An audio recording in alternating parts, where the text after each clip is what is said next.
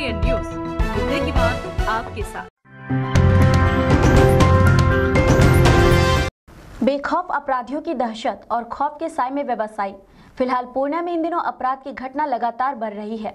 ताज़ा मामला पूर्णिया के गुलाबबाग मंडी का है, जहाँ बंदूक की नोक पर एक व्यवसायी से साठ हज़ार नगद लूट लिया गया। गुलाबबाग के व्यवसायी बालाजी स्टोर के कर्मचारी से देर शाम दो बाइक पर सवार चार अपराधियों ने लूट की घटना को अंजाम दिया। लूटने के बाद सभी ज़ीरो माइल की तरफ़ भाग निकले। घटना की सूचना मिलते ही सदर पुलिस मौके पर पहुँची और मामले की छानबीन में जुट गई। अभी दो अपाची से आएगा। एक नया अपाची था और एक पुराना अपाची था। व्हाइट कलर का अपाची एक था और एक ब्लू कलर का अपाची था, जो न्यू मॉडल में अपाची निकला है। और चार व्यक्ति से था और यहाँ पर पैसा लेकर के जा रहा था। बालाजी जो मार्केटिंग यार्ड में तेल का कारोबार करते हैं। उनका स्टाफ था, वो खुद थे नहीं, वो किसी काम से व्यस्त है और उनका स्टाफ पैसा लेके जा रहा था और ओवरटेक करके दो अपाची से आया और पैसा नहीं दे रहा था तो पिस्टल दिखा करके पैसा छीन करके और यहाँ सरेआम हथियार लहराते हुए निकल गया। चार की संख्या में थे। अभी वो काउंटिंग नहीं हुआ है एवं लाख के आसपास है।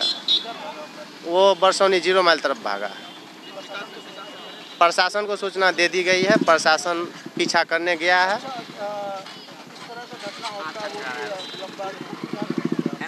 गुलाब बाग में। अभी सरेआम माफियाओं का राज चल रहा है। यहाँ पे कोई ऐसा नहीं है प्रशासन का भय नहीं है किसी भी माफिया को।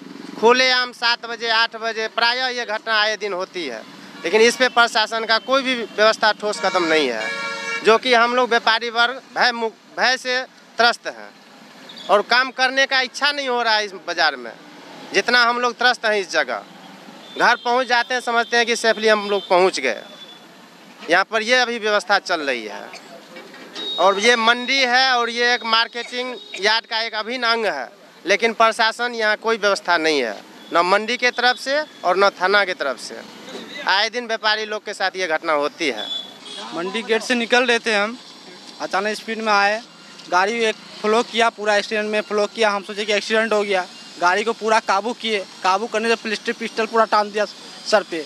ये पूरा चीज़ आया। हमको भी पता नहीं था, हम तो आगे गाड़ी चला रहे थे।